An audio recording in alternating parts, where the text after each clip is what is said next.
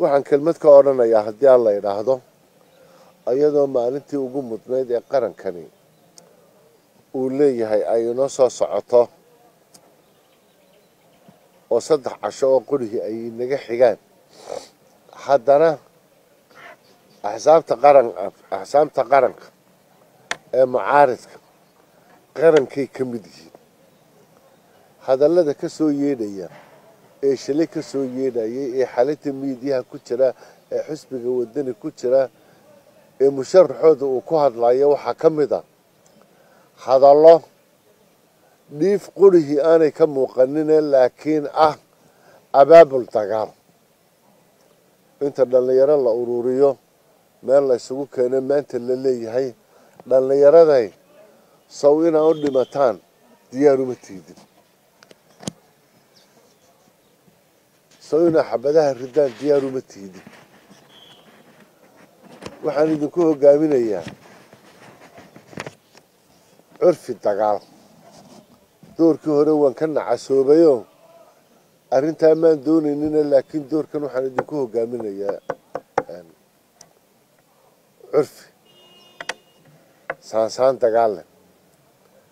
Arrintaas waxa weeye waxaa isqaban la koob iyo soddon sannadood bishii janawari bilowgeedii ilaa iyo maanta oo koob iyo soddon guurada somalilan oo nabadgelyo dib u heshiisiin dhibaatadii hore talisyadii iyo nidaamyadii dowladihii laga dhaxlay nidaamkii ku kalifay somalilan inay xorriyaddeedii la soo noqoto oo ah nabadgelyo deganaansho iyo wada noolaansho iyo midnimo qaran iyo higsi harumar.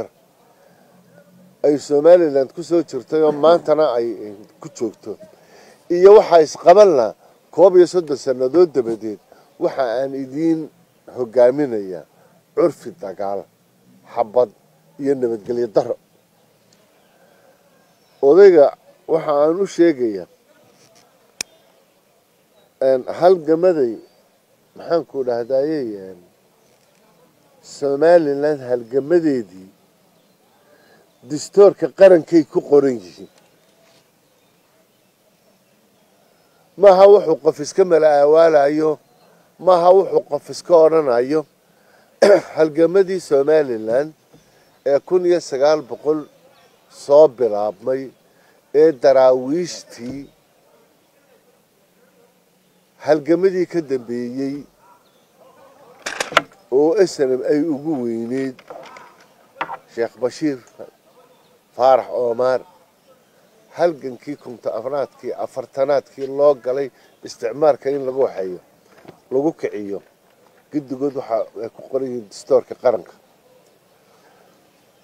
Ninka dafirsan distoorka qaranka halgamadaana aan shaqada ku lahayn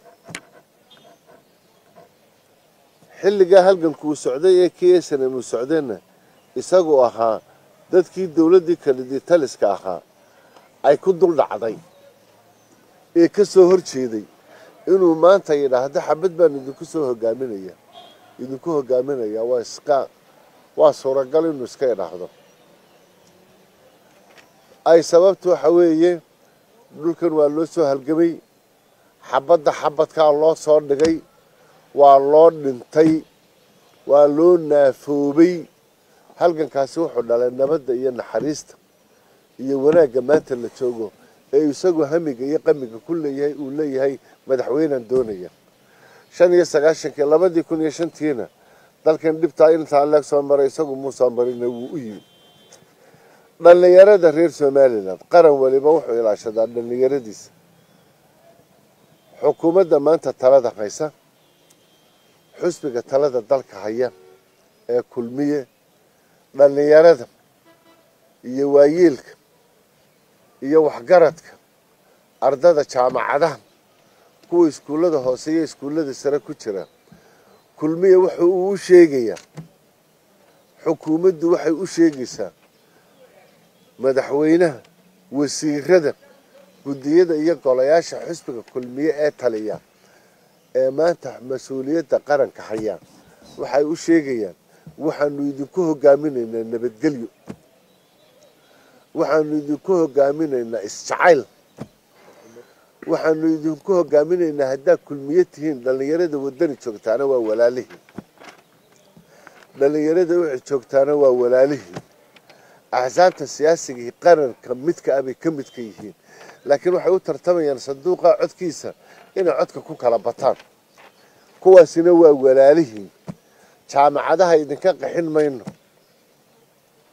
iskuulladana idinka qaxin mayno dadka jajaban iyo dumarka uu malayo cusbitaalada ku jirana qaxin mayno adiguna cabdiraxmaan oo qaxin kari mayside natiija xumada ku hor taalla ayaa kugu kalifaysa afaan curfi siyaasadeed iyo mid waayeel iyo mid islaamnimona midna ahayn. Inaad maanta tidhaahdo dhallinyarada kariimka ummadda ubaxa ummadda inaad tidhaahdo waxaan idinku hogaaminaya dagaal. Dadka waxaan leenahay koob iyo soddon sanadood baynu soo halganay xorriyadda markii aynu helnay meel fiican baynu maraynaa waa kuwa maxaanku dhahday hadda iminka dowladihii inoo imanaya mayd maxaa u dambeeyey baa layidhi kaa la sii sido dowladda maraykanku waa kii darata halkan inoogu timi waa kuwii berbere tegey mowqifkooda ay le ay qabaan waa kuwa ku soo saaray maxaanku dhahday saxaafadda socdaalkii madaxweynaha wafdigii hogaamanayay maraykan lagu tegay jawaabihiisii bay ka mid tahay oo hordhaca oo ay leeyihiin dowladda somalilan waxaanu qiraynaa in ay tahay dhul nabadgelyo ah iyo cari nabadgelyo ah. Waxa ka hadlayeen waxa weeye waxaynu ka wada shaqaynaynaa iska kaashanaynaa. Arrimaha maxaanku dhahdayey badaha iyo xeebaha iyo hasha. Maxaanku dhahdaye ganacsiga adduunka dhulka uu marayo oo badeenu ay ugu badan tahay. Ayaynu iska kaashanaynaa nabadgelyadeedna waxaynu iska kaashanaynaa maxaanku dhahday la dagaalanka argagixisada guud ahaan nabadgelyada waa inta adduunyada horumarta ay ka dagaalamayso waxaan leenahay markaa arrinta nabadgelyada ee maanta taalan waa shirarkii berbere ka dhacay koob iyo sagaashankii kii barco ka dhacay koob iyo sagaashankii kii sheekh ka dhacay labiiyo sagaashankii kii hargeysa ka dhacay kii ceerigaabo ka dhacay kii boorama ka dhacay kuwii laascaanood ka dhacaye lagu gebagabeeyey shirarkii nabadda waa shirarkii ugu horreeyey kii booramaba ka horreeyey ee ka dhacay meesha lagu dhahdo shimbiraale. Ee ka dhacay meesha lagu dhahdo awrboogeys ee ka dhacay meesha lagu dhahdo garadag ee ka dhacay darara weyne. Ee ka dhacay ceerigaabo in allaaliya intaa shir. Tamar maamul oo dhaqaalo lahoo maxaanku dhahdayey markaa fuliyo maamulkeeda maynan haynin in allaaliya intaasoo shir. Dad baa fuliyey. Xoolahoodii ku isticmaalay noolaa ku isticmaalay wixii ay haysteen. Cabdiraxmaan intaa midna waxba kama ogeyn marka waa gartii inuu maanta idhaahda dagaal hor lamaan ahnay waa qoladii loo bixiyey. Waan habsaameeya hadda maarido waan habsaamaya hadda maarido waxaan leenahay talo mid baan siin lahaa. Ha ku lugoyn. Ma gilgilmayso inta dhibaatada intaa la soo maraya. Xisbigana waxaan leenahay dowladradii waa la furayaa ee haddii isagu mid dagaal idin gelinayo yahay. Daydayda xusbiyada kale ee qarankaee bilaabmaya inaydu maxaanku dhahda xusbiyo kale la soo baxdaan